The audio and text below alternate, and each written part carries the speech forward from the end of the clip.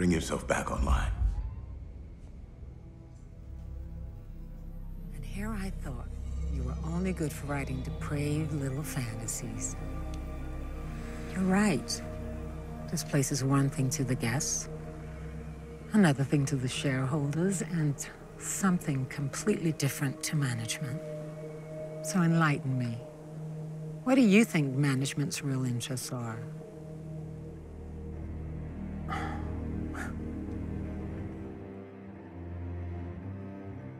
Season 1 of Westworld gave the audience a bevy of mysteries to solve and mull over, but the one mystery that is yet to be solved is Delos' true intentions in regards to Westworld. Delos Incorporated is a futuristic conglomerate existing in the Westworld universe that has owned and operated the Westworld Park for nearly 30 years, but their sinister motivations for owning the park are mostly unknown. In Season 1, Teresa Cullen's subplot focused on her attempting to smuggle Westworld IP out of the park and into the hands of Delos, behind the backs of Dr. Robert Ford, the park's founder, and Bernard Lowe, the head of behavior programming. The reason they were working in secret was so that Delos could oust Ford from his position as creative director without fear of him destroying his work in retribution. Using her position as the head of quality assurance, Teresa programmed one of the hosts to break his loop and transfer Westworld IP to Delos via satellite. This plan was foiled by head of security Ashley Stubbs and up and coming programmer Elsie Hughes. Elsie's investigation into Teresa's plan would ultimately cost her her life in Season 1, and like Elsie, Teresa would die trying to complete her mission.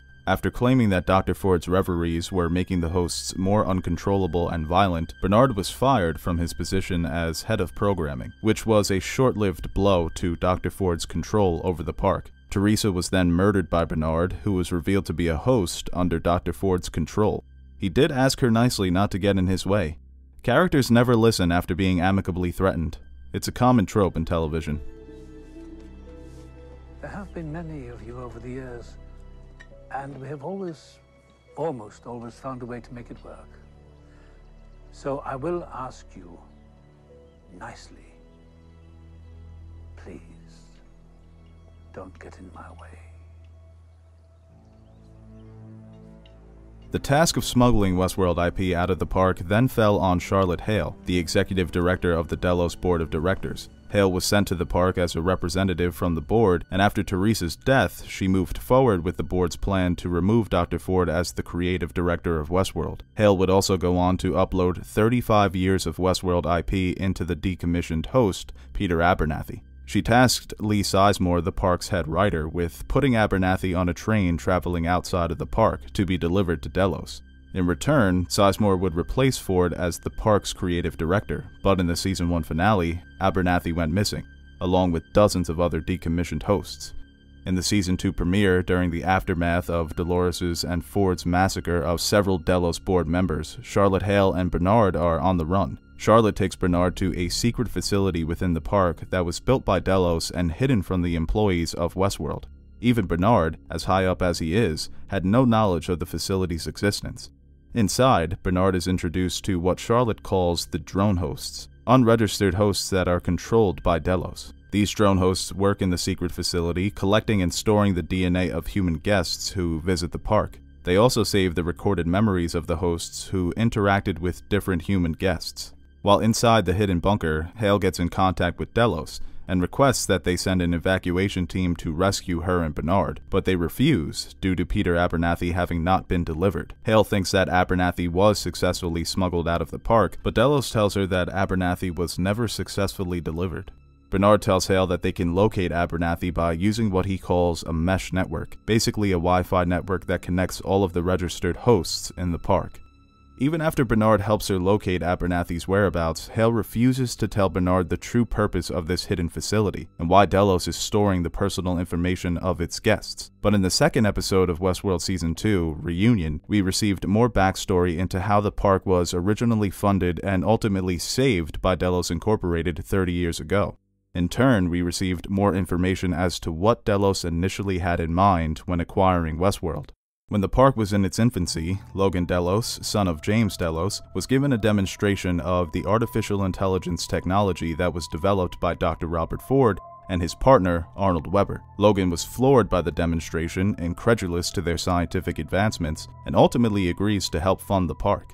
Five years later, Logan would visit Westworld with his brother in law William. Like Logan, William was in awe of the park's artificial intelligence technology, but for different reasons. By the end of his trip, William was dead set on buying out Westworld entirely. At this point in time, Westworld was losing revenue every year since the suicide of Arnold Weber, who thought he could shut down the park before it opened by killing himself and killing all of the hosts. At their current rate in this point of time, Westworld would have had to have filed for bankruptcy in less than three years. In the hopes of taking full control of the park, William tries to convince his father-in-law James Delos, the founder of Delos Incorporated, to buy out the park entirely. Although James is initially reluctant, William convinces James by explaining the advantages of owning Westworld he explains that the true business of the park isn't about entertaining guests, but allowing the guests to feel free to be whatever they want and do whatever they want. Delos can then use this information for marketing purposes. But Williams' true motivations for buying the park seem to go beyond simple marketing tactics. The real purpose of Westworld is probably far more sinister. In Season 2, Episode 2 Reunion, an older William describes Westworld as a place people go to escape from God. In Westworld, they could hide from God's judgment, free to sin as much as they like without any retribution. At least that is what they are told. For the 30 years that Delos has been operating Westworld, they have been spying on their guests and collecting the necessary information to use to their advantage. In the words of William, Delos was tallying up their sins, but William says that judgment wasn't what they had in mind, it was something else entirely. While talking to Dolores in his younger days, William tells Dolores that she is only just a thing, more of a reflection of the person who was looking at her. He says that Dolores didn't make him interested in her, but more interested in himself. William thinks that every person who visits Westworld will want a little bit of what he found in the park and that he plans to use Dolores and all of her kind to give it to them. But he says that there is something beyond that. He thinks that there is an answer in Westworld to a question that no one has ever dreamed of asking. So our question is, as the audience, what is the question that no one has ever dreamed of asking?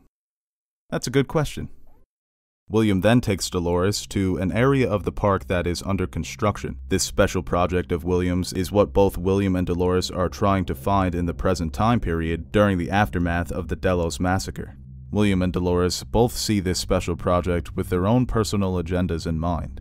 Obviously, Williams' motivations have changed drastically in 30 years, but whatever he was trying to accomplish in this moment with his special project must have been successful. But instead of it being his crowning achievement, he considers it to be his biggest mistake, and that's why he so desperately wants to find it before Dolores does. Dolores tells Teddy that William was foolish enough to take her to the project's location a long time ago, but unlike William, she doesn't consider the project to be a mistake. She considers this special project to be a weapon that she plans to use against humanity. I highly doubt that this special project is a physical weapon like a gun or a stash of weapons. It's probably more of a psychological weapon. Now, this psychological weapon could be tangible, not in the form of something that is used for assault, but a secret that, when exposed, could change the fabric of every person's reality in this universe. The question is, what is William hiding, and why is he so scared of it being found? Well, let's start with what we know the DNA aspect of the story. Like mentioned previously, Delos has been storing and saving the DNA from the multiple guests that have been visiting the park over the last 30 years. William hints during his conversation with his father-in-law that they could use Westworld as a data mining tool, figuring out what the guests want and then applying this information towards their marketing budget. This may be a subtle jab at both Facebook and Google by the show creators, but do we really think that Delos' master plan is data mining and advertisement? If you watch the Mark Zuckerberg hearings, you know that doesn't make for great television, but it does make for good memes. The most obvious assumption we can make here is that Delos is blackmailing the guests that visit the park. Since men and women of wealth and power are the only ones who can afford to visit Westworld, there are multiple opportunities for Delos to catch these powerful people doing something that would be considered regrettable and egregious in the public eye. Imagine if the CEO of a Fortune 500 company was caught on tape murdering both a mother and daughter host inside the park. Even though humans don't really consider the hosts to be real, it would still be a very disturbing image to the public and would raise suspicions as to what this person is doing in the quote unquote real world. Using the DNA and recorded footage that they save from the host's memories, they could blackmail those guests in powerful positions to do the bidding of Delos. We've already seen examples of blackmail in Westworld before. Elsie Hughes uses recorded footage to blackmail one of the butchers working in the Westworld body shop in season 1. After Elsie is denied a closer look at one of the hosts by one of the butchers, she pulls up recorded footage of that specific employee performing sexual acts on the hosts. What the fuck? There's a common misconception that the hosts don't log sexual encounters when they're underground for reprocessing, but like I said, misconception. Blackmail is definitely more interesting and sinister than data mining, but it still feels a little too obvious. And Westworld is a show that can never be accused of being obvious. I need this job. Look, Destin. In a second, I'm gonna walk out of here, and your friends are gonna wonder what this was all about. Now, your answer can either be I'm helping behavior track a problem, or I'm a creepy necroperv. Up to you.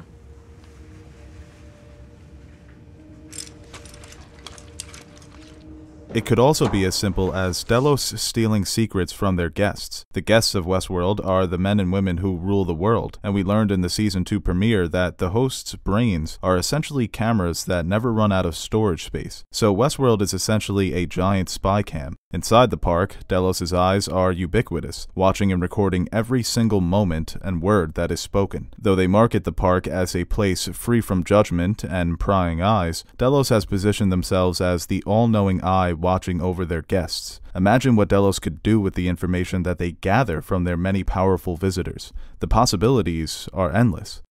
But it's hard to imagine the guests of Westworld, being as powerful as they are, wouldn't have taken precautions to protect their privacy before entering the park. These are people who are extremely rich and powerful, and spying on those in positions of power usually comes with severe legal ramifications. Another far fetched theory is that Delos is not only blackmailing their powerful guests, but they are cloning them.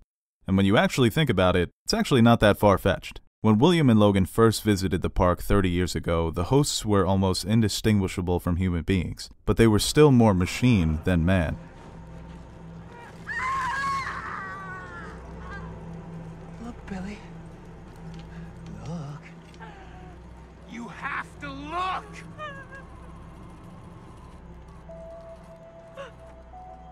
In the present day, the hosts have become fully synthetic. In the words of show creator Jonathan Nolan, they are more biological than mechanical. Hosts have their own synthetic blood, skin, organs, and DNA. You can no longer rip open a host to convince someone that they are a machine. The average person wouldn't be able to tell the difference. One of the major differences left between host and machine are their respective brains. A host's brain doesn't require oxygen, so they can't suffocate or drown. Hmm, we even see Bernard leaking a synthetic cerebral spinal fluid in the premiere episode of Season 2. Like humans, the hosts can die, as seen by Bernard's terminal failure warning in that same episode. But for the hosts, death is not necessarily permanent. We have seen dozens of resurrections throughout the show. Even before the hosts became synthetic, it was almost impossible for a person to tell the difference between host and human. During Westworld's initial pitch to Logan Delos, they challenge him to correctly spot the host in a crowd of humans. What Logan did not realize is that every person in the room was a host. So, what does all this mean?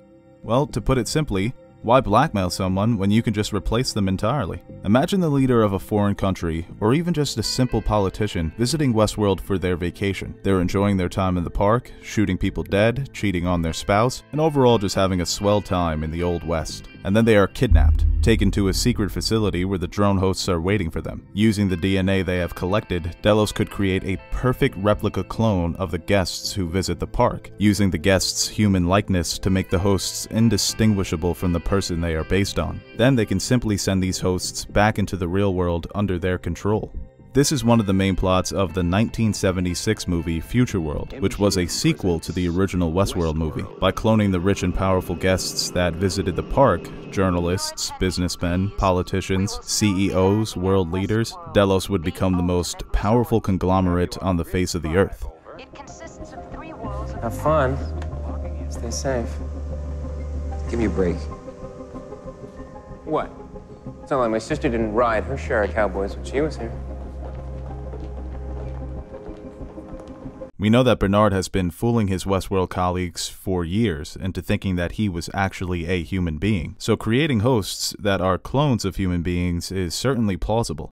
And also remember, Arnold had been dead for over two decades by the time Dr. Ford decided to create Bernard. Ford was able to create a host that had a perfect likeness to the person he was based on, and that person had been dead for over two decades.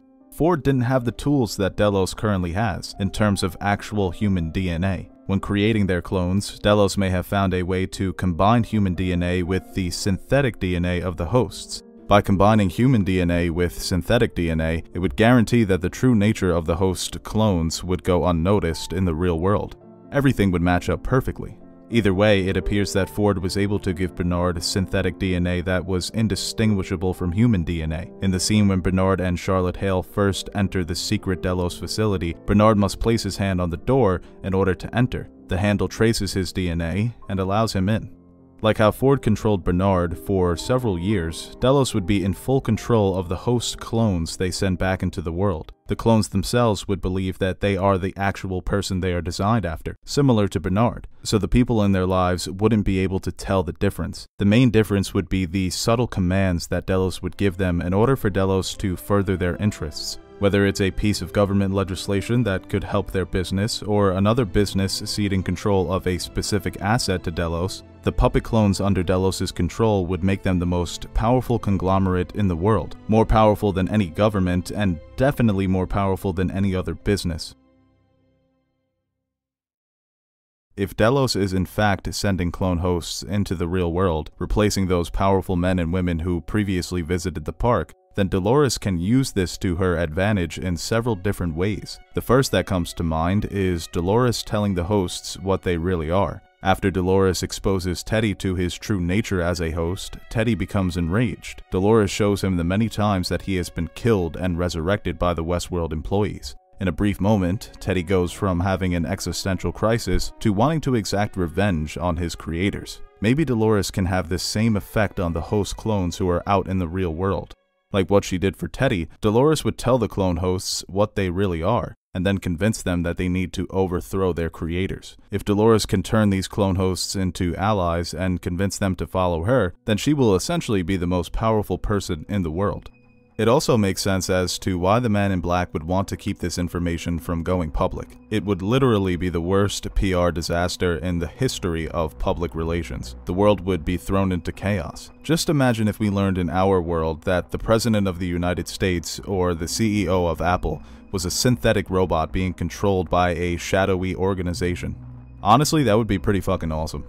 If Delos wants to keep their clone host operation a secret, then they need to destroy Westworld before this information falls into the wrong hands. But they wouldn't want to sacrifice Westworld's IP in the process. That's why Peter Abernathy is so important to their future plans. He contains 35 years of Westworld IP. If Charlotte Hale can successfully smuggle him outside of the park, the secrets of Westworld wouldn't be lost with the park's destruction. It's definitely easier said than done. So that's our Westworld theory for today. What do you guys think? Let me know your thoughts in the But comments there's section. another angle we haven't discussed the evolution factor. What the hell are you doing here? Indeed it is. But of course, we've managed to slip evolution's leash now, haven't we? We can cure any disease, keep even the weakest of us alive, and one fine day, perhaps we shall even resurrect the dead, call forth Lazarus from his cave. During the retirement party for James Delos, William talks to his father in law about the possibility of James not stepping down. William cautions his father in law to be patient, but James says he cannot afford to be as patient as others. Throughout their brief conversation, James can be seen coughing and struggling for words. From the content of their conversation and James's apparent discomfort, we can deduce that James Delos is in poor health and possibly even dying. William appears to be trying to save his father in law's life, but the cure for James's disease is probably still being developed. Maybe this is William's secret project, using the technology of Westworld to cure all known diseases. In season 1, William describes himself as a titan of business and philanthropist. A park guest even approaches William in season 1 to thank him for saving his sister's life. William appears to be the man behind all of the world's diseases being eradicated. We already know that the current hosts of Westworld operate with synthetic organs, so maybe Westworld's technology was applied to real people who were in need of an organ transplant. There's also a possibility that these cures are not available to those who aren't rich and powerful. Like in the real world, the advantages of science in regards to a person's health are always available to the rich and powerful first. This could be the weapon Dolores is referring to. If Delos is holding out on the rest of the world and Dolores exposes the secret, there would be a revolution. This is a classic divide and conquer tactic. It's hard to believe that Dolores and the other hosts could withstand the forces of the outside world, so if this information were to leak, it would cause chaos among the lower classes and upper class populations. And as we know, chaos is a ladder. See, this is why I only put you on the Game of Thrones videos. You just had to throw a Game of Thrones line in. This is Westworld. I mean, it could have been worse. What do you want, a crossover? Could have been worse. It's ridiculous. How how could it have been worse? I could have referenced Batman vs Superman or Rampage. It just never. Get the fuck out of there. Get get out of here. Squeeze into the fucking Rampage referencing. Let's go.